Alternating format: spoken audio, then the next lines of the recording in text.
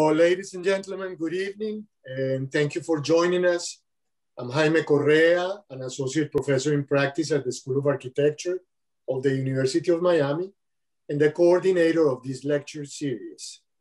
On behalf of the Dean of the School of Architecture of the University of Miami and Tecnoglass, uh, our sponsors, I would like to welcome Marina Tabassum to the Spring Tecnoglass Honor Lecture Series of 2021. But before we start, let me remind you to keep your microphones off at all times. If you're attending this lecture for the sake of continuing education credits, please acknowledge your presence through an email to Professor Steve Fett at sfett, sfett at miami.edu. Professor Steve Fett at sfett at miami.edu. At the end of Marina lecture, uh, Marina's lecture, we will have a question and answer session led by Professors Charlotte von Moos and Melody Sanchez. Now, Marina Tabassum is a Bangladeshi architect who is practicing from Dhaka. She's the principal architect at Marina Tabassum Architects. In 2016, she won the world-renowned Aga Khan Award in, in Architecture for the design of a mosque that I'm sure she's going to show us today. That mosque uh, is located in Dhaka, in Bangladesh. In 2020, Tabassum was listed by Prospect magazine as the third greatest thinker for the COVID-19 era. And the magazine wrote, at the forefront of creating buildings in tune with their natural environments, this Bangladeshi architect is also embracing the design challenges posed by what we are collectively doing to the planet. In 1995, Tabassum founded with Kashef Chowdhury the firm Urbana. This was an architecture practice also based in Dhaka. Urbana designed a number of award-winning projects in their 10 years together. In 2005, she established her own practice, which is called Marina Tabassum Architects MTA, which is the principal architect.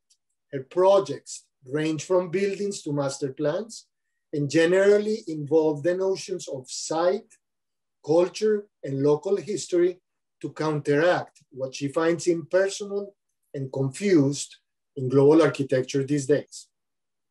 Her Bait Ur Rouf Mosque, built over the course of 12 years with a minuscule budget, distinguishes itself by the lack of iconography.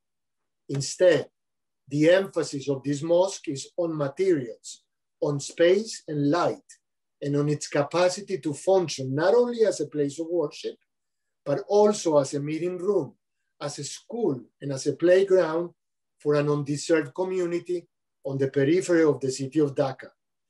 Since 2005, Tabassum has been invited uh, as a visiting professor at BRAC University, where she has also taught courses on contemporary South Asian architecture. She also conducts undergraduate studios at the University of Asia Pacific, design studios at Harvard University, and is currently an, a faculty member of the Delft Global Housing Studio online this year. She has given lectures and presentations at a number of other educational institutions and conferences. And she has been the director of academic programs at Bengal Institute for Architecture, Landscapes and Settlements since 2015. On behalf of the School of Architecture of the University of Miami and Tecnoglass, our sponsors, Please let us welcome Marina Tabassum.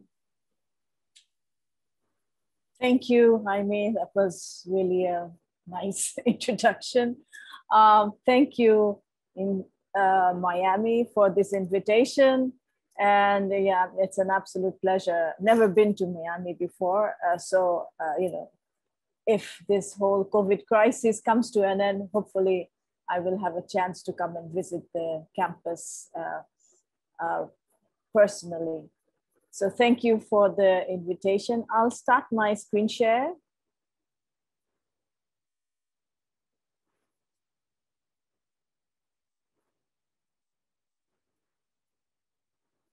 Okay, so um,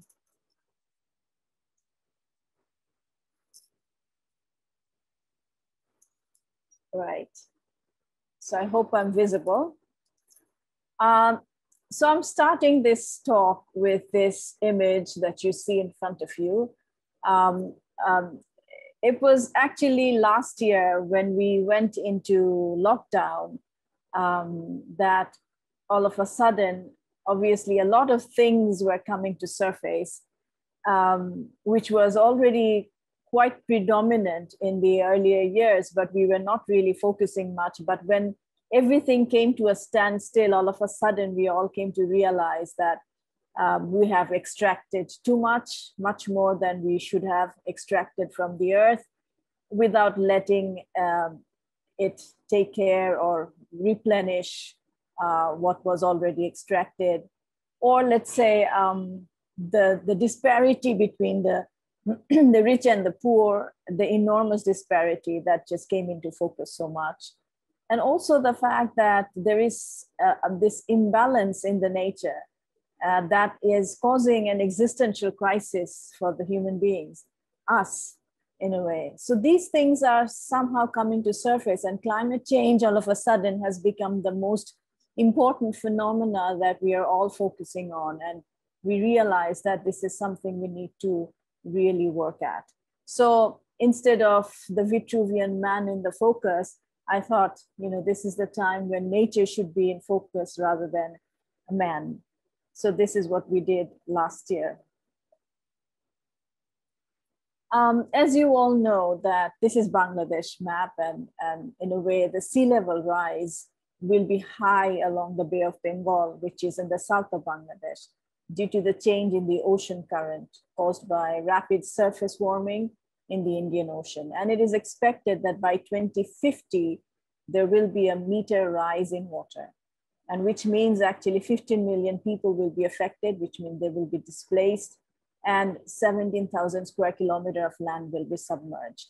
And we are already facing these uh, phenomena.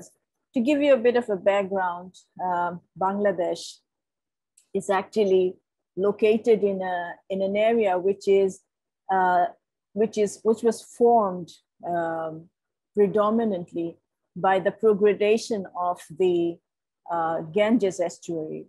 So basically, there are three major rivers Ganges, Brahmaputra, and Meghna that are converging and flushing into the Bay of Bengal. And while doing so, creating this deltaic formation. And this delta basically flushes onto the Bay of Bengal. And if you look at Bangladesh, it is more than a, more as a, a waterscape rather than a landscape. It's a it's a labyrinth of waterways these are rivers, tributaries, ponds, and lakes, and all kinds of water forms that you can see. Um, it's rarely land, but it's all about water. And if you look closely, this is an image from NASA, um, 20 years of the movement of one of the rivers, which is the Ganges uh, and the Brahmaputra meeting, and then and this is named as Podda and it meets Meghna, the other river. And you can see the movement of the water as it, as it moves along and how it changes it, its courses. And if you look much more closer, you'll see that the movement is actually causing this enormous erosion along the bank. The earth is very fragile in these areas, and the water has a very strong current during the monsoon season. And because of that reason, uh, there is always erosion that's happening. And that has washed away many, many uh, small towns and villages and, and still causes to do so. So this is one of the major challenges and it is getting greater with the sea level rise. And you can imagine that this actually causes lots of um, people to lose their home, homesteads, land. Many people have become landless, um, moved to the, from the location to many different places. So there is an enormous amount of climate refugees um, uh, and, and, and moving to different places, becoming displaced. And on the other hand, uh, as the river changes courses, new sandbed arises in the in the riverbeds. And so what happens is you see these uh, new formations that are uh, coming up in, in the riverbeds. And in a way, I find Anuradha Mathur and Dilip da Cunha's take on this quite uh, appropriate because it is not really land, but it is wetness and it is everywhere. You cannot really call it a land, but it is a mixture of land and water in an, a very intertwined way uh, of living. So, why is it so predominant? To, just to give you a little background of Bangladesh's history, geoformation history. So um, if you see in this map, the old map from the 1760, uh, 76, uh, the Brahmaputra River had a different course, but during the uh, devastating Assam earthquake that was in um, 1950, the river actually changed its course from there and take, took another course, which then brought in an enormous flow of water from the Himalayas. So Bangladesh is actually located in the foothill of the Himalayas. So all the water that comes through Ganges and Brahmaputra are coming from uh, glacial waters coming down from the Himalayas to the Bay of Bengal and also rainwater. And so during the monsoon season, they really become full with water and the current is so enormous that they flow and creates this fragile landscape. And this is the southern part of Bangladesh. As you see, the blue area in this map shows the active delta, which means this is the uh, delta which is still active, meaning that it's constantly moving. The, the images and the video that I showed you basically occurs in this uh, blue area. Whereas the other parts like this pink and the yellow areas, these are much more mature delta, which means these deltas do not move anymore. And during the dry season, uh, when there is not so much water, um, there's not much movement in the water, what happens is due to the tide dominance, the water goes back into the system as the tide increases the water. And so it creates a backflow and then it enters into the eastern estuarian system, creating these sandbeds. So this emergence and, and in a way erosion is a constant play in the, in the landscape. So it's a very dynamic, fluid landscape. And so what happens uh, in these areas is that people constantly move. They're constantly on the move as the land and the river shifts. Uh, people move from one location and it's not just people moving, it's the entire village or the entire small town moves from one location to another location. So in one of our research works for the Sharjah Triennial, which was in 2019, end of 2019, 2020, we actually um, uh, researched and followed a few of these um, narratives and stories where we looked into how people live and how they move. So we've located some of these houses and some of these uh, villages that have moved from one location to another location. And what is quite interesting in this whole uh, movement is that they have come up with this idea of a flat pack system of a vernacular uh, architecture where the entire house is a, is a flat pack system where the, the posts and beams are basically wooden structure, uh, frames of facades, which you can just take down. And when they uh, can feel that the, the, the land will be er eroding soon, that the bank erosion will happen, they basically take down their houses and then put it on a boat or a cart or even a van and then move it uh, to a different safer location where they can if they find a new uh, place to to house their building they reassemble it. So this disassembly and reassembly is a part of the whole system uh, as people constantly move. So the house also moves with them. So if you see um, in these areas especially along the brahmaputra and and ganges along up to the bay of bengal the coastal areas there are markets where you can go and buy these houses. So here you see in the video is one of these uh, marketplaces, like a shop where you can go and order a house and they can come and build it for you. And we found many houses uh, in these areas uh, where you know, one house has moved seven different locations in its lifetime. So if a house is a 60 year old house, it has moved from one location to another seven different times. So for the Sharjah Architecture Triennial, we decided to buy three of these houses and house them in this location. This, the image that you see here, this is a courtyard in an abandoned school, uh, which was turned into the venue for the triennial. Uh, and we were given this courtyard to house uh, the houses that we bought from Bangladesh and shipped it to Sharjah, and we uh, placed it there. So this here you see on the left side is the houses in their own context.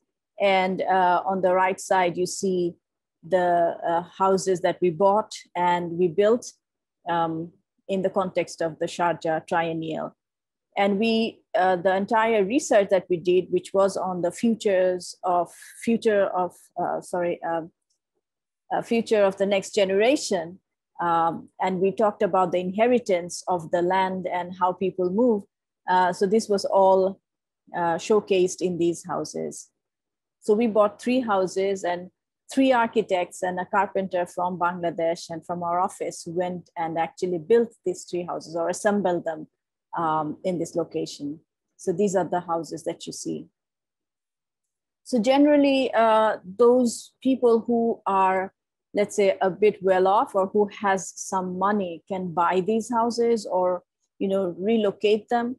But when people become landless, and there is quite a lot of people who are landless, uh, who cannot afford to build such a beautiful house. This is a house which one house would cost around uh, 3,000 to $4,000. And not everybody in Bangladesh can afford to buy or make a house like this. So if you see, this is an image which shows the houses in the Sharjah context of Sharjah. You see the city at the background.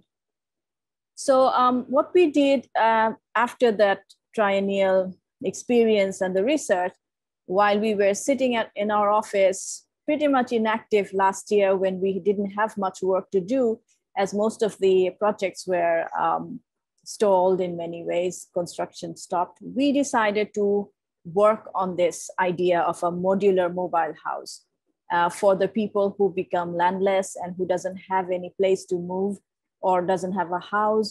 Uh, so if we could provide them with something which is easy to move, easy to uh, assemble and disassemble, and they can take it with them while they are moving somewhere. So we came up with this idea of a modular mobile house, which we call Khudi Bari. Kudi means tiny or small, and how, uh, Bari means house. So it's a tiny house in that sense. And it costs about, if you see all the components, it costs about uh, 200 US dollars altogether.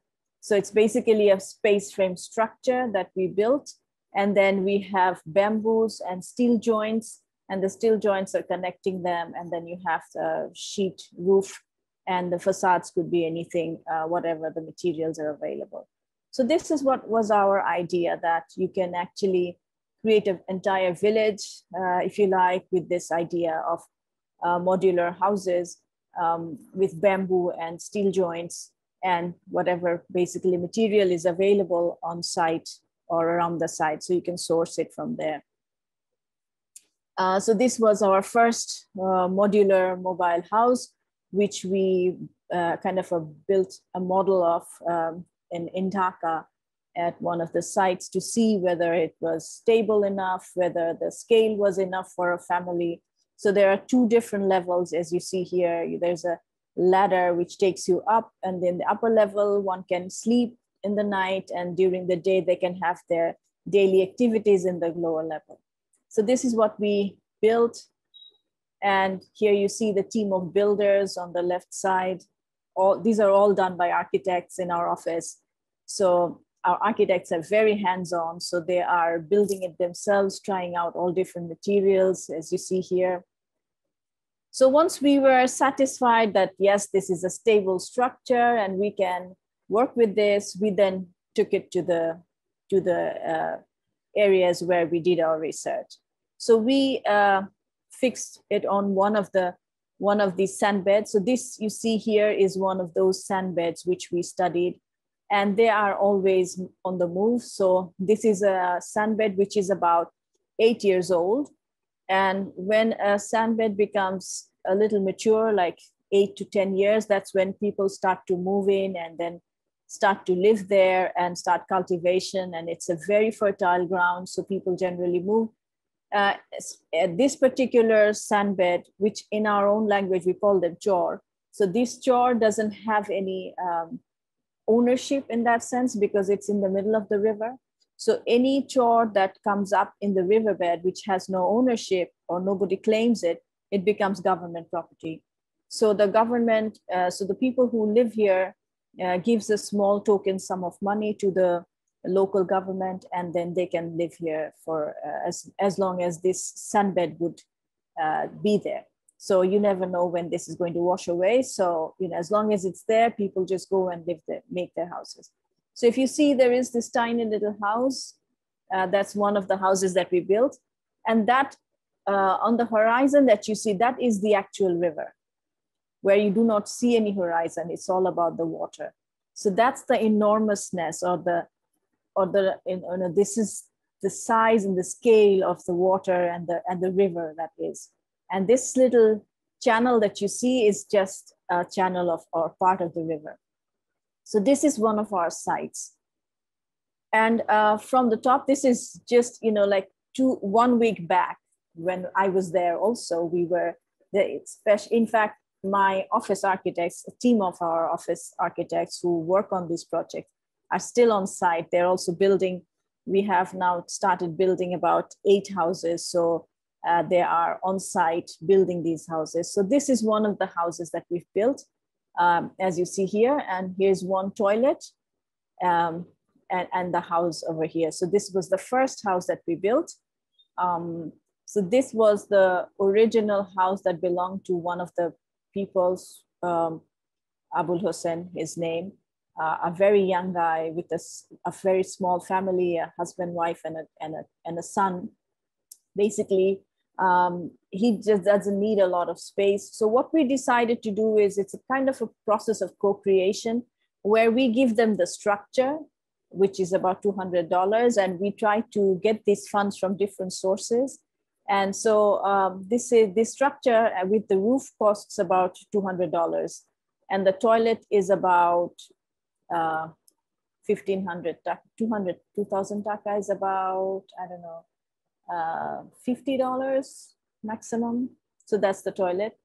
And so basically, uh, we built them the structure. The lower part he will build on his own. So he will dismantle this house and the facade that you see here that's made out of leaf. So he'll probably cover this uh, with the facade that he has in this uh, place. So the upper level is for him to sleep and the lower level could be the daily activity. So this is Teresa, one of our uh, very uh, our friend and, and filmmaker. So she kind of follows us, uh, follows the story of the Khudi Bari project. So she goes with us uh, in many places. So you see the details here. So these are all leaf that are available on the chor because these areas are so difficult to access that there is hardly any material that is there. So a lot of things have to be brought in from mainland, except for the facade materials and so this is the second house. So the first house is here that you see a little bit. And this is the second house, which is two modules together. So this family has a has uh, six children, so they need a bigger house. So we gave them two modules and then with a stair in the middle so that they can have two levels. Um, and so this is one of the families that you see here and uh, the, in the chor there is no school so the children cannot go to school and especially with the covid situation there is no way of uh, even taking them to the uh, to the mainland to go to a school. So basically they have no option but they are so eager to learn. So we buy we bought them books um, during this uh, on 26th march um, this uh, a few few days back. It was our 50th um, uh, Independence Day. So we had a small celebration where we gave the children books and and everything. And obviously, uh, they're very interested and uh, to learn. And so you see images here of the architects who are working hands-on on site and also trying to create a connection with the children who are living there. Now moving much more to the western side, which is more the mature delta. And the image that you see here is of Sundarban. Sundarban is um, the largest mangrove forest in the world, which is close to the Bay of Bengal. And with the sea level rise, this, uh, uh, this entire ecosystem is under threat. And this is also the place where Royal Bengal tigers, uh, home to the Royal Bengal tigers. So basically this is under threat. So one of our sites were very close to uh, the Sundarbans, which is here, the Panigram Resort. So it's a resort project in the delta, and this is a much more mature delta. This is the delta that doesn't really move. So uh, people here are much more um, agr agrarian kind of society where it's much more farming, very rich land. So farming is predominant around these areas. And so this is our site, one of the river that goes by known as Kapotakko River. And that's our site. Um, and and basically um, it's a it's a very scenic very flat land uh, as deltas are generally so this is the river that you see that's going by the site and that's our site actually and um, beautiful green farmland all around and so when i first went there um, this is probably my first connection i would say with uh, with the Bangladesh, which is outside Dhaka. So I, I was born in Dhaka. I, I, I was brought up in the city. So, and I didn't have a village home where I would go and reconnect with villages, let's say. So when I was first time going to visit this site and I stayed there for a longer period of time, that was probably my first experience of being outside of Dhaka and really experiencing Bangladesh and the Delta itself. So it was quite a unique experience for me as an architect and as a journey because first time uh, I realized at that time, and it was in 2013, I realized that that uh, that that it is uniquely beautiful. And there is so much wisdom in living with nature the symbiotic relationship that humans have with with nature. And and and there is hardly any i mean it's almost like zero carbon footprint. Uh, that's how people live their lives in the villages. So that was quite unique for me. And and that's why you know i quite often read this uh, that it felt like a crime to invade this silence with the roaring noise of architecture so i thought that the best way to do this project would be to understand the wisdom of the land and to build upon that and to learn from the land before I start to build anything or to put anything, impose on it. So if you look at it, delta is a very flat land. So generally the act of building starts with digging a pond. So people generally dig a pond and taking the earth out of the pond and then creating a higher ground, which is a mound. And on the mound, they basically place their houses. So if you see here, you see the section that you have a pond and then the earth dug out of the pond is then created a mound and the houses are on top of it. And so the entire villages are absolutely uh, created like that. And a house basically has these different program. The program of a house has small rooms or huts and the kitchen and all the different uh, domestic animals and their small um, shades and everything. So basically, this is what a household of a village home is like. And these different elements that you see, uh, the program of a house is actually then gathered around the courtyard. So each house has a courtyard, and every element of the household is basically, uh, in a way, uh, clustered around the courtyard.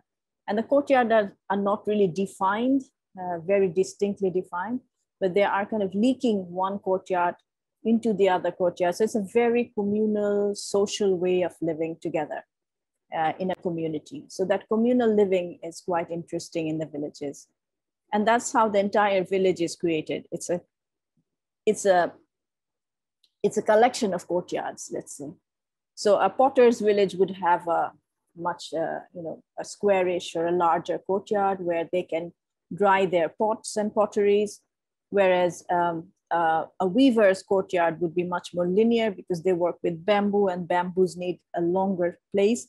So the courtyards become linear. So um, that's how the entire village is created. And that's quite unique and beautiful. And the material that they work with, obviously, in these areas are mud, because mud is the only material that they can build with that's sourced from the land, and bamboo, and maybe thatch or tin, corrugated tin roofing, whatever is available to them. So one interesting form that uh, was there, but you don't see that anymore, is this beautiful roof form, which is uniquely Bengali. So this is a pitch roof, which is then curved. And the reason is it rains so much that uh, this, this shape actually allows water to drain out fast. So that's how uh, this came into being. So this is also known as the Bangla roof. And it was taken by the Mughals in some of their forts, which was used quite often. And even in our temples, we see this form being depicted, but you don't see this form anymore because now corrugated sheet has actually flooded the market. So nobody builds these thatch roofs anymore. So, you know, I thought that this could, this project could have that revival of that kind of a roof form uh, that we can uh, try to bring back. So this is the site, as I was mentioning. And so we have a bridge. We thought of getting people off uh, close to the bridge here and then giving them a boat ride to bring them to the site um, and then they can enjoy the entire journey of being at the site. And this is our master plan, as you see. So it's a meandering path. There's hardly, there won't be any um, cars in, in the site. So this will be mostly walkable spaces. And, and the entire um, uh, master plan was done keeping the idea of hut in mind. So people can basically uh, stay in huts and so the, uh, the material we chose was mud brick and thatch and basically um, bamboo and wood. And so these are the huts. Each is a single hut as you see, and then there are courtyards and each are connected with the other. So that's the, how we created the entire landscape. And the other thing we did is we invited the villagers since we became very close to them and we created a connection. So we we asked the villagers to come and build it for us. So the villagers actually came and, and took part in building. And what we did is we engaged the younger generation, especially who are living in the villages, like this young man you see here. So there are many of them who then became part of the project because uh, you know most often these young men have a dream or aspiration to go to the cities and look for a job and that becomes a very difficult path for them because it's not so easy. It's a, it's a struggle. So we thought, you know, it would be much better if they can stay in their own um, village and then uh, let the, uh, you know, be a part of this whole process and then become part of the entire uh, building process and also the resort once it goes into operation. And also developing the craft and the skills that they already have. So these are the materials that we work with, sun-dried mud brick and uh, mud mortar. Uh, it was easy to build a process and, and we sourced the materials from the, from the local areas, the villagers working with bamboos. And that's the roof form as I was mentioning, where we have this pitch roof, which is then curved. And thatching, this thatch is a very unique form, but you don't see this anymore there's hardly any people available who has the technique or knows the skill of weaving this thatch. Uh, so it was quite a difficult and a challenging process to bring it back. We have women working uh, on the site and they do really great plaster. So most of the houses in the villages are plastered by women. So you see here one of the huts, uh, everybody after work, uh, chatting and spending some quality time. This is the uh, this is the elevation on the riverside actually. So you don't see any architecture in that sense, architecture with a big A if I say, but uh, yeah, some huts. Uh, this is our organic garden and the huts as you see. this is a hut which has two rooms, so one can have, if a family comes, they can have two rooms. And so the entire thing is actually the, the details that you see, everything is actually the villagers who came in and, and did whatever they generally do with their own houses. So, so that's also a quite interesting, surprising way of building and doing things. So after this, uh, this whole process of building was coming to a completion, we then decided that we need to keep this connection going with the villagers. So that's how we started this project, which we call Panigram Community Initiative, where we work with the villagers to improve their own uh, social and environmental conditions.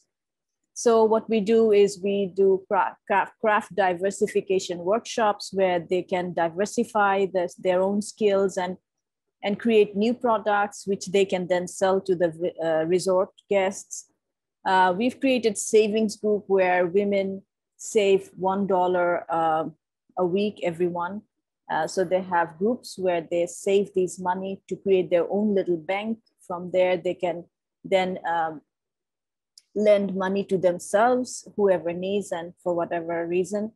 Uh, so it, it becomes a, a very interesting network of economic, uh, uh, yeah, a kind of uh, becoming free in a way, uh, financial freedom in many ways. And then we've also created this mapping and community groups where people generally, um, you know, start working with their own villages. So here is one of the process you see. This is a, a project which is an hour's drive from our site done with Hasibul Kabir and, and, and, a group of community architects who actually took part uh, in this project, where they started with mapping the process of, you know, mapping the entire area or the villages, and then making aspirational model with people, and then from there, creating their own houses. And, and so it's a process of co-creation. And each house, the house that you see here is a two-story house with a toilet, uh, is, is built with $1,500.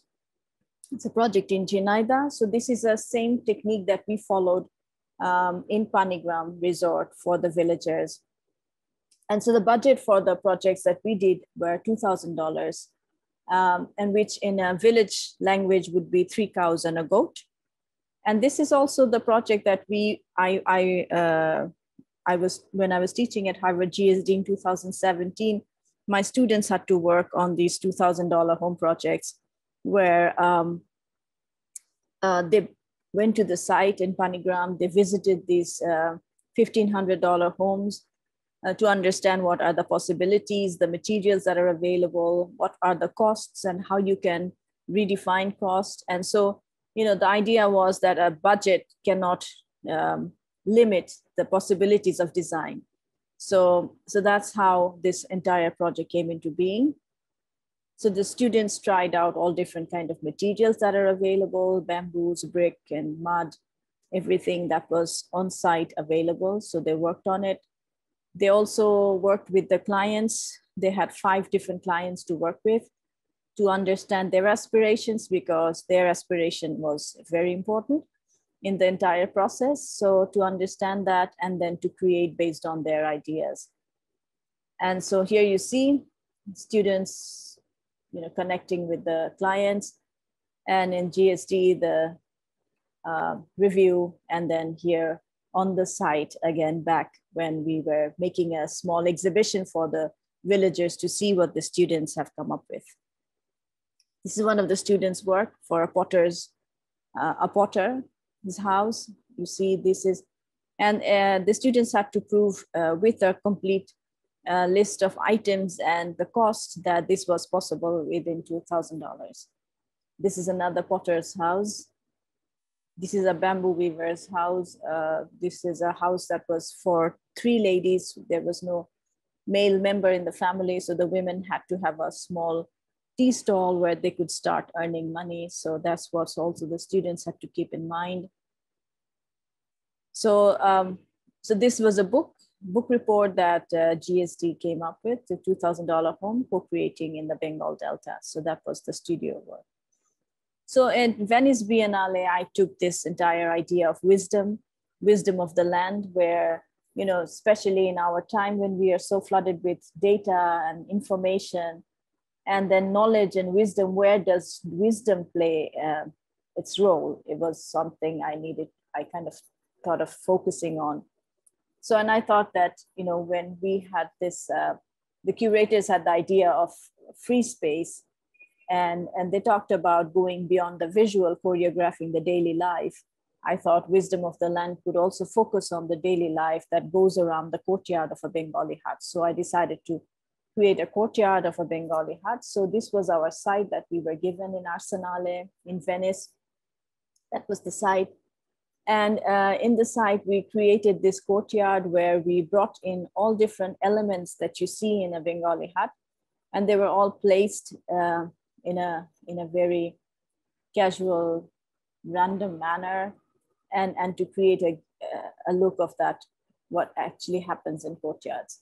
So this is, uh, so what we did is we went from different villages and sourced all these materials. Those are still in use uh, uh, in, in a daily household in a village. So this is a granary as you see. And, and so these are all different elements that you see in the courtyards or, you know, used by people in their daily life.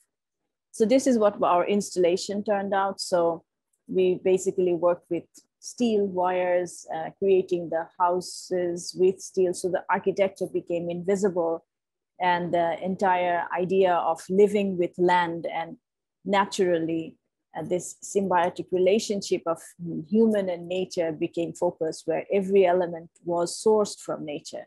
So that's what was our focus. So this is uh, the installation of a Bengali courtyard. So you see all these elements. This is a grinder. This is a, this is the stove. That's a bed. That's a boat. So really fascinating elements. So at the end, we donated all these elements to uh, the Natural Building Lab of TU Berlin. So this is again on the eastern side of the Bay of Bengal. And this is, this is the Bay of Bengal as you see on the left. And this is a site which we, where we had to design a building uh, within 2.5 kilometer of the Bay of Bengal. And if you, to give you a bit of a history of this land, um, in 1991, there was a severe cyclone, which was about a category five hurricane. And during that time, since there was no embankment, uh, the water surge was about 20 feet high and there was about 1 million homesteads that were washed away and then 138,000 people lost their lives. And this area where our site is located, named Banshkhali, that area alone had 40,000 people uh, were killed in that area. So uh, after this cyclone in 1991, the government built this red line, which is an embankment. And um, the, our client, who are from that area decided to build a mosque and a health hub because there is no health facilities around this area. So they decided to create a health hub which would be also connected with the mosque. And we as architects thought that, you know, if it is a mosque, mosques generally have a clean open space. There's no furniture in that sense. So this could also act as a cyclone shelter. So quite often, since people or the villagers live in very fragile homes, uh, when there is a cyclone approaching, uh, people move to a shelter, which is called a cyclone shelter, which is much more rigid and sturdy and, and stable. So that's where people generally move. So we decided that this could also act as a cyclone shelter. So a mosque and a health hub. And, and so this was the program. So this is a Mughal mosque in Dhaka, which has a lower level, as you see here in the middle image, which is a place where generally people come and stay. And in the upper level is the mosque with the courtyard. And this on the right side, you see this is Louis Kahn's um, mosque, uh, sorry, a hospital project in Dhaka, Bangladesh. Um, so we thought, you know, these are our inspirations and we brought them together and created this cyclone shelter. So generally cyclone shelters um, do not have any openings on the facade because when the storm surge comes, it generally breaks the glass and allows the wind to move in. So we decided to create these, um, this entire building in a way that they are, are broken into different components, like small pieces, like as you see here. So there are nine, 12 uh, individual blocks that are that can stand on their own. And if there is wind force coming in, it can just go through, pass through it, and would not really uh, create any kind of difficulty. So that's how we decided to create that uh, build form here, as you see. So the lower level uh, here is you see this lower level would be the health hub where primary health facilities would be available to people. And in the upper level would be the mosque. And then there's again another smaller level on the upper floor if they ever need to create something of a, an extension. So that's how we designed it. So if you see here, the ground level, this is the area where we have the health hub. So there's a central uh, sitting area, and then all these rooms are for different facilities of uh, uh, primary healthcare. And on the upper level, this is the main mosque area. So you can enter here, and there are all the other ancillary facilities are on the sides. That's the section, the building as I showed you. And if you go up uh, and the upper level, there's just basically uh, the main mosque area. So this is the main mosque and that's the courtyard in the front. So this is a project which is now under construction. Tropic of Cancer goes through Bangladesh, as you see here, making it a subtropical climate. So we have a very uh, humid and hot summer and a very dry and a very mild kind of a winter. And so the, the difference in temperature is never too high. so what you really need is a roof to cover yourself from the elements. And you can keep it open, as open as possible. So there is cross ventilation, there is enough. I think that also is quite, um, quite similar to probably the weather of Florida or Miami, maybe, because I think it's also quite humid in that area. So it's similar in a way that you need to keep it open, make the space breathe. So that breathability uh, of a space, the cross ventilation is very important for us as well. So this is one of the buildings not designed by me, but the, but the first, um, let's say, modern architecture building in Bangladesh by Muzharul Islam in 1954. So this is also a very unique building for us. And uh, in many ways, in many of my projects also, I have tried to use that idea of blurring the edge to create this connection, which is inside and outside becoming one, uh, to avail that idea of just being a pavilion uh, and no walls in a way. So that, that really works very well for us. And so there are all these different elements which really helps in this whole idea of airflow and how you can create um, a microclimate in a house, let's say with a courtyard. So here you see a courtyard that is helping uh, to create this environment where you create the airflow and a, and a nice environment. And in many of these other projects also you'll see even in a 12 story, 15 story residential block, where we try to open up the edges so that um, there is a way of creating this airflow. So the breathability of a building uh, is an absolute essence and importance. Here is that same building, uh, which is in the on the on the highway right next to this really uh, the north-south spine of Dhaka city in a way. Uh, in another project, which is now going to be in construction. Uh, we tried to use this idea of a long veranda, which is also very much a part of our old architectural culture um, when we didn't have air conditioning in that sense. So people used to use these buffer spaces to, to condition the air in a way, naturally, and then to let it come into the spaces so that it becomes cooler. So that those ideas are still valid. So in many ways, we try to emulate those ideas to to use in our buildings. So here you see that the long veranda then wraps around the building to create this idea of a, of a, of a building that can actually operate on its own without being dependent on air conditioning.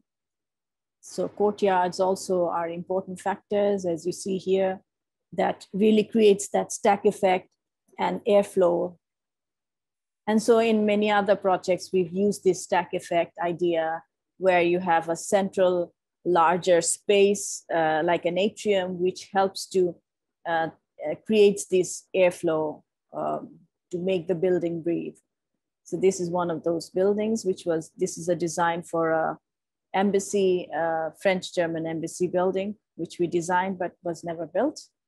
This is a very small building also in the outskirts of Dhaka, where you also have this shaft in the center um, that creates that airflow movement. And a lot of spaces which are very pavilion-like, where you can really spend your days uh, being very connected to the nature. And as I was mentioning that, um, you know, we do not have many luxury of many materials. It's a delta, so we have earth. So generally people build their houses with mud.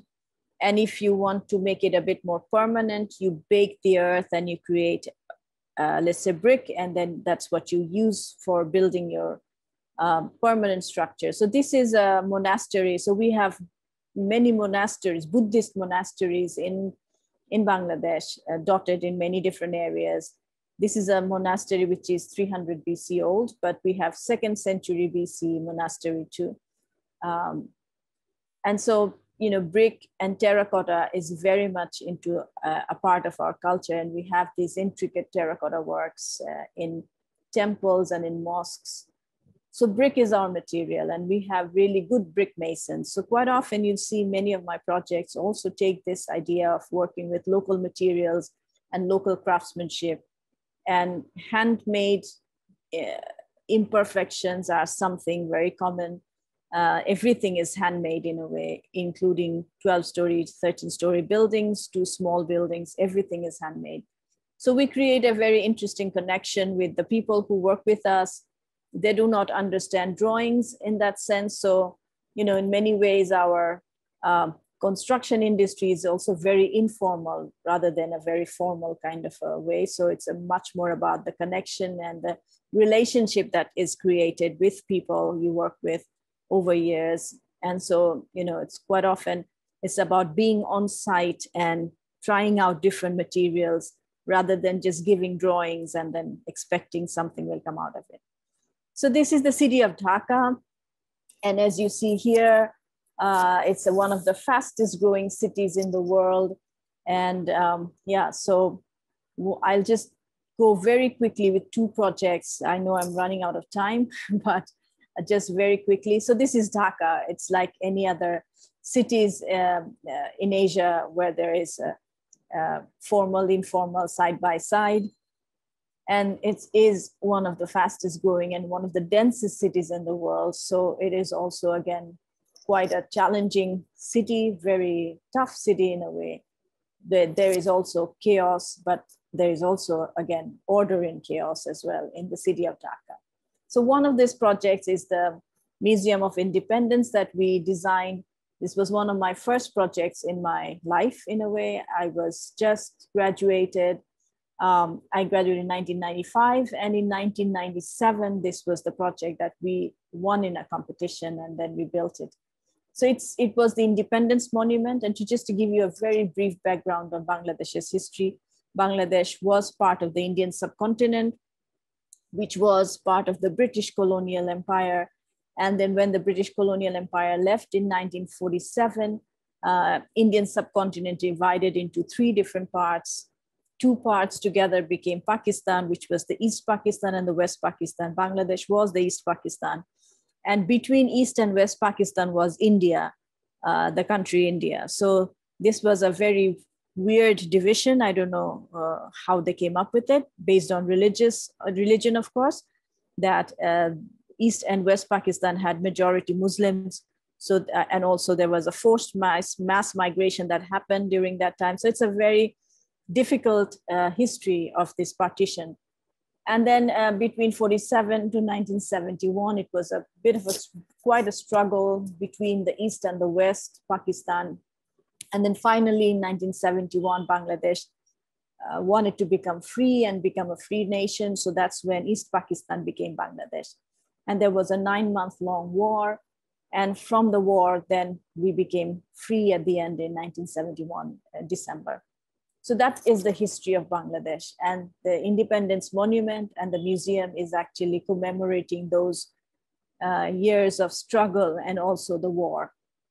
So this is, uh, uh, in a way, a, a, a, ground which is very much um, within the city of Dhaka, but a very rare green park areas. So to build a museum in that area was a challenge that, you know, how can you build a building within a park? So we decided to took it below grade, as you see here, you just see a plaza. And the museum has been taken below grade under the um, under the plaza. So the plaza is actually the only thing that you see in the park and the Tower of Independence, which you see at the end and a reflecting pool and an approach to the plaza. So we just try to keep the footprint to the minimum, as you see here in the section, that's the museum below grade and that's the Tower of Independence. Here, all the different components. So as I said that we, and this is the plan actually, on the ground level uh, uh, below grade where we have the museum audiovisual room, that's the main museum area, the ramps that take you down. I'll just go very quickly with the images. This project, which was um, uh, commissioned to us in 1997, was finally finished in 2013. So that took us 16 years to finish. So these are actually all the different historical events that are printed on glass.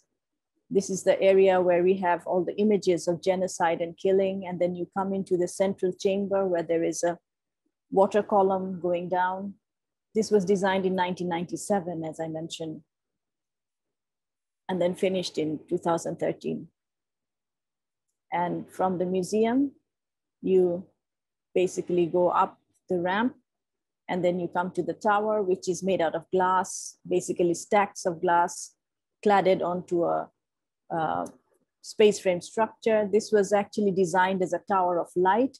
So it's actually lit from the outside and in the night it glows like a beacon of hope for a young nation which is only 50 years old. I'll finish with the mosque very quickly. So this is the city of Dhaka and on the northern end of the city is you see that blue dot, that's the main mosque uh, site. And this area has been a very agrarian land, but very fast with the rapid growth of the city became a settlement very quickly.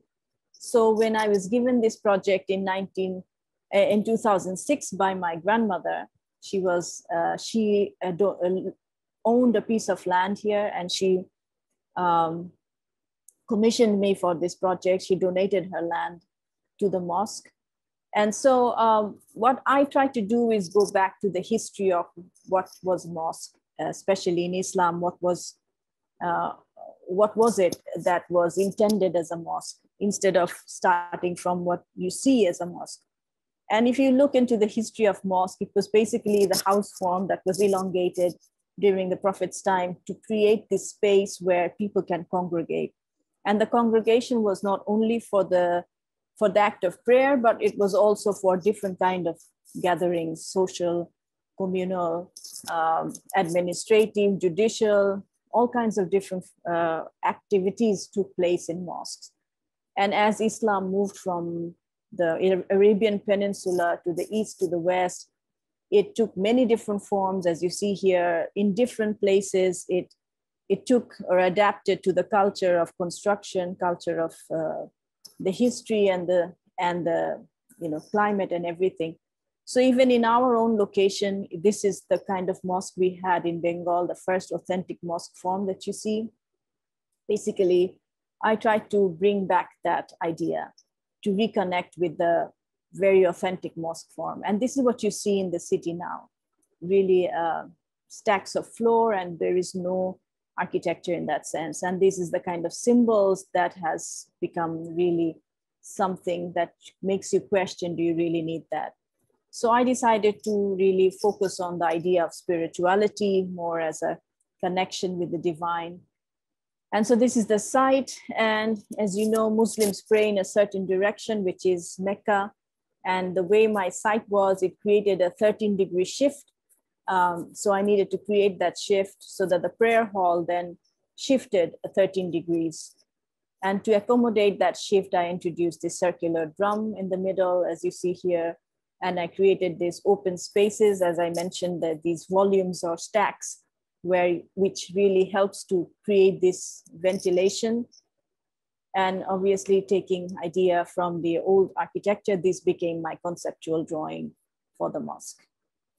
So the basic main prayer hall is a, a span large span concrete structure and the uh, entire uh, building is then wrapped around with a brick architecture. So that's what it is. Uh, we have porous uh, porosity in the facades so that it acts uh, to create this breathing wall. So it breathes. As you see, the city is growing all around it, and that's the main mosque. So at one point, it will not be visible anymore because all the buildings will come up. So it was important for us to, to focus more within the building than outside of the building. So that's why you see a lot of um, work with light um, so that we could uh, create that space which is um, has that quality of spirituality within it. That's the open to sky space uh, through which you get the light and also the ventilation. So this is the main prayer hall and light is the main ornament of the space. Uh, the project had very little budget, so you know light became its adornment and it, it, it was for free in a way. So that was the basic idea. So I will finish it here. Thank you so much. I'm so sorry that I overstepped my time. Let's hope we can have some conversation. Sorry about that. No, no, you're you did really well with the time. uh, so we're going to start with Charlotte. Yeah, uh, well, um, Marina, uh, very happy to meet you and, and thank you very much for the wonderful lecture. Um, I think it was uh, for me super impressive how you described and illustrated the, the landscape or the waterscape, as you mentioned, in all its fragility. Um, and, it, and it seems very clear that, that the ambition in every project is, is somehow more than just architecture with the capital A, as you say. So every project is somehow also a social project, an ecological project, uh, but then creating, of course, also very beautiful architecture. Uh, I, I, have one little question and then, uh, I mean, two, two little questions. The one, probably one that you hear a lot, uh, um, related to Louis Kahn. So actually I had the chance to visit Dhaka, but that was, I think, unfortunately, at a time when none of your projects were built. Um, it must have been like 10 or 15 years ago. I, uh, yeah, uh, one gets older. But um, I remember um, because I had the chance, Florian, my husband, I think you met him at ETH two years ago, uh, did a PhD on, on Louis Kahn's work.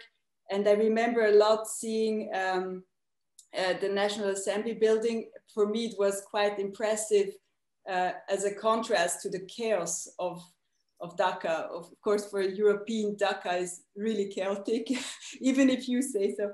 Uh, and also, but I also remember being super impressed of these river banks, these unfortified river banks, which for a European is something that one never sees. Um, so I was just curious to hear a little bit. I mean, in some of your work, there clearly seems to be an echo of Kahn's work, but maybe to hear, hear you, your, your memories of that project. Uh, and the second part, I already say, it, I'm just curious to hear, um, you, you speak also a lot of climate change and all the challenges that we encounter these days. And maybe what is your thought or uh, your wisdom um, in, in what is the role of the architect or the role of the discipline of architecture within that? Because uh, I see that more and more the questions become so so complex uh, that there's a tendency uh, to to be very technocratic, or that it becomes almost more a question of engineering. And and and in that, I think it's it, I would be really curious to hear what you think is the role of the architect more or architecture. Right. Well, Kahn. um, you know, I grew up uh, seeing that building. So, you know, from my very childhood, um, when I was uh, still going to my school, um, so the first time I went to that building was, I think I was in my grade 10 and the building was uh, towards completion and one of my friend's father was, uh, was an engineer working in the public works department and he somehow arranged this uh, visit for us kids to go and see the building. And that was the first time I was inside. And in a way, it, it did have a very captivating, uh, especially the ambulatory. The light that comes into that space is so magical and nothing I could relate to uh, in my own growing up years. So that was very different, nothing that I have experienced before. So that stuck with me. And then when I was in as a student of architecture, obviously you you've I've been to that building so many times that the building actually became a teacher in many ways. Um, I've never met Kahn. the only connection to Kahn would be um, the the his talks and you know whatever you read about him or the buildings that I visited in the U.S. or even in India or you know. So um, the buildings have taught a lot, but I think especially the building here in Bangladesh um, about light, about this whole idea of, you know, how, how silence, building can become silent, but at the same time be so powerfully present. So all these things I think um, came from Kahn in many ways. So I do have, um, yeah, a certain kind of uh, uh, influence, I would say, inspiration from Kahn's work. So I think it's quite um, visible. so there's no point in fighting that. Um, in terms of um, yeah, climate change and and yeah, so this is something I think uh, for me also very new in a way that when I started working in that resort project was the first time, as I mentioned, that my first connection with the villages and how people live so symbiotically. But the idea that um, you know uh, nowadays, especially with this COVID crisis, things are becoming so much more apparent that this crisis uh, is is is basically a form of showing the imbalance in in the way we live our lives.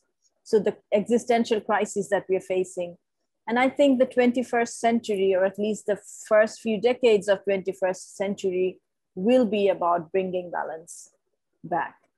And that balance definitely will also be uh, a part of architecture. So i think as a university or as a pedagogical understanding we should also be looking into these ideas. And i think it's very important for all uh, schools of architectures in the academia that we start talking about these things especially if you see the the amount of waste that are being created by the construction industry let's say I mean, uh, it is alarming to know or to think that that we consume concrete more than we consume food. That's that's unbelievable. So you know, is that natural? And then the amount of concrete that we use, and you know, it, it is quite fascinating to see that um, that a ton of concrete to create a ton of concrete, basically the amount of carbon dioxide that is emitted uh, into the atmosphere takes 40 years for a tree to basically bring it to balance.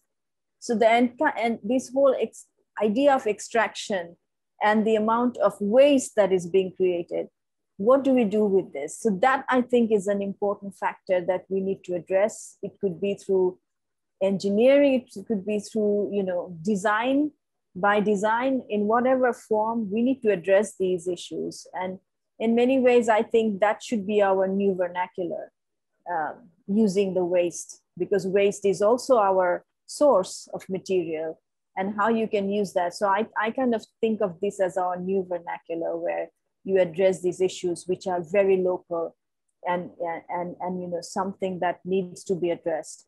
So we are not thinking about closing this gap or closing this cycle, this anthropogenic cycle of materials. So this material flow and all these things needs to be um, really thought carefully, uh, responsibly. And so that's why I think that's, uh, that's one of the most important factors um, in our 21st century, um, in our practice and also in academia that needs to be addressed. Th thank you so much. Yeah, thank you so much for your presentation. And, and I think um, kind of a, a, comment sort of going off on, on this idea of the, of the ecology, I really liked um, the way you kind of positioned yourself in, in kind of Dilip da Cunha's wetness in a way, where these boundaries that we, we think are very certain are actually very much in flux. And I thought that the modular houses start to respond to this sort of um, unarticulation, unarticulation of these boundaries. Um, I had sort of two questions. Um, one, I think more on the formal side, and, and one a little bit more about sort of your process. Um, so in his Perspecta essay, Kenneth Frampton sort of coins the, the term critical regionalism, which I think describes an architecture that has an interest in the sort of cultures and the materials of place. And I think it's an attitude that, I, even though this essay was was from a while ago, it's an attitude that I find relevant today and, and a mode by which I think you operate within. Um, so I'm sort of taken aback at your sort of understanding of place and, and context, but it's these like deep investigations of typology, whether the mosque or the home, um, and of the building tectonics of the place um, and yet the architecture feels quite contemporary. I think you really do engage form and you do engage geometric organizations, um, sort of the circle and the nine square grid. Um, so how do you find a balance of, of working within this, this deep vernacular tradition with perhaps a more global discourse of architecture? Because I think you, you find a, a, very precise balance between the two and you seem to extract sort of um, the correct amounts of both. Well, thank you. that was really nice.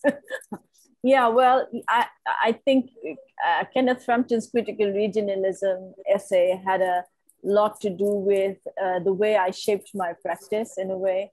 Um, uh, because when I read that essay, it somehow kind of uh, came to me like a revelation in a way that this is it, you know. You need to bring a balance between, you know, you have two cultures one is your local culture, and then there is the universal culture where we all live.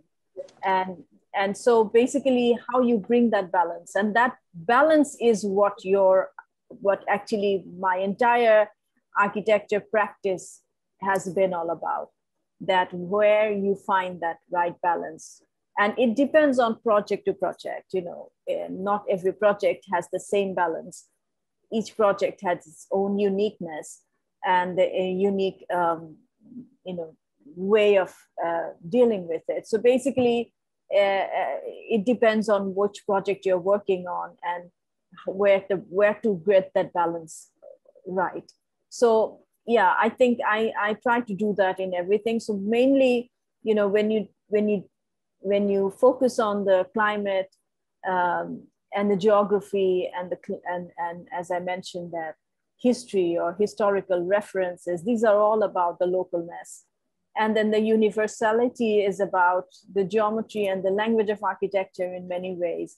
This, the light that you bring in or the spaces that you go through, those are far more universal in many ways. So, so you know, I think that's how the, the balance is brought uh, to the projects. But then again, when you go to the resort, it's a very, uh, very local in a way, right? Uh, you see mud architecture and when I was doing that project, I was quite um, afraid in a way. I was thinking that I would be criticized heavily for being so vernacular.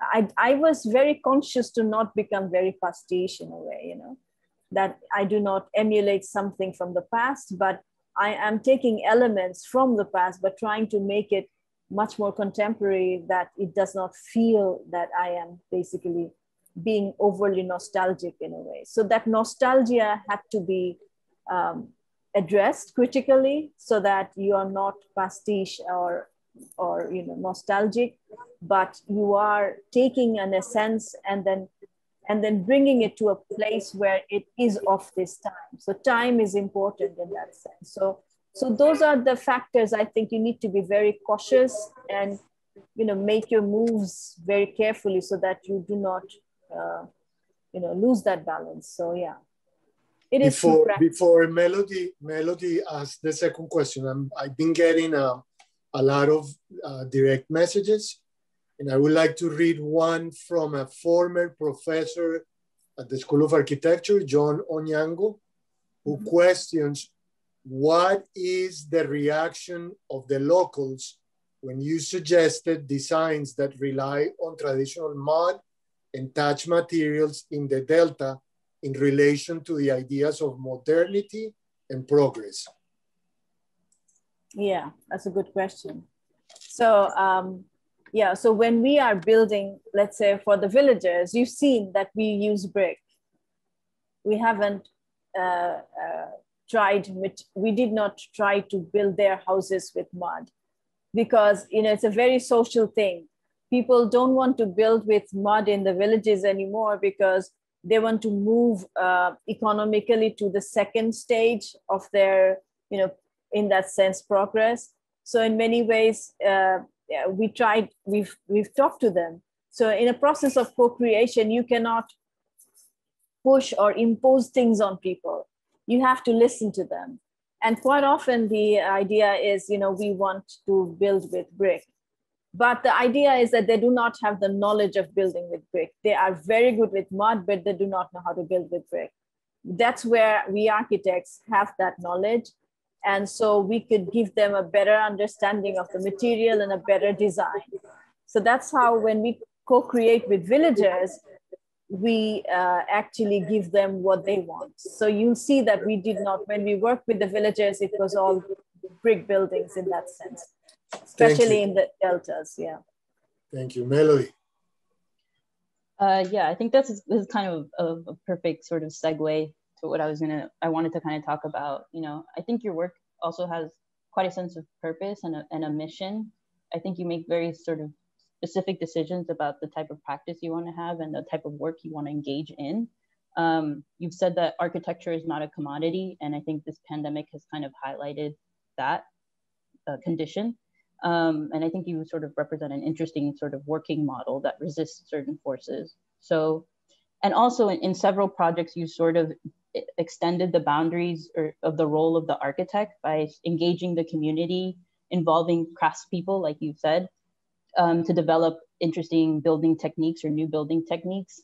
But you've also um, engaged communities so they have a sense of ownership over specific projects, particularly the mosque and the and the resort that you were saying.